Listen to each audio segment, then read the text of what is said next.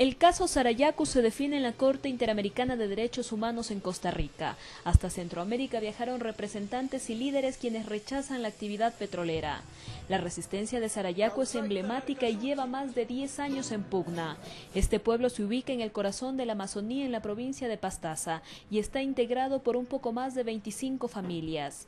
El conflicto inició en 1996 cuando el Estado concesionó el bloque 23 a la Compañía General de Combustibles CG CGC de Argentina.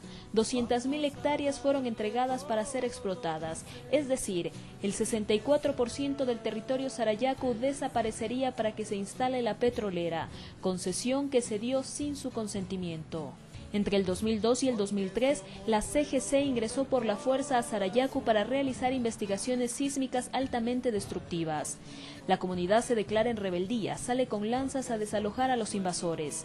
En ese año acuden a la Comisión Interamericana de Derechos Humanos quien dicta medidas cautelares a favor del pueblo amazónico.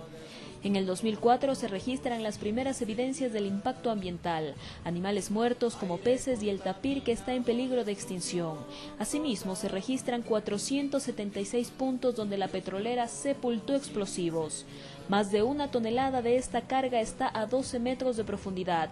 Esto generó que el caso pase de la Comisión a la Corte Interamericana de Derechos Humanos. En el 2009, el entonces ministro de Minas, Derlis Palacios, ordenó el retiro de los explosivos, pero apenas se eliminó 14 gramos de los 1.433 colocados en Sarayaku. Desde ese año no se ha hecho nada en este territorio.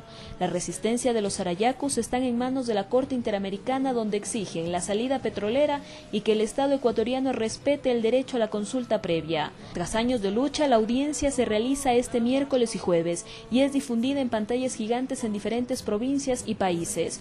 Una sentencia que es esperada después de años de lucha y que genera pues sentará nuevos precedentes respecto al derecho y al consentimiento de las comunidades afectadas por proyectos petroleros. Hasta la Corte de Derechos Humanos se llevaron videos y documentales que muestran la vida del pueblo sarayaku y su impacto ambiental que causaría la Compañía General de Combustibles de Argentina, que tiene conexión con la Chevron Texaco. Fanilara, Ecuador TV, su televisión pública.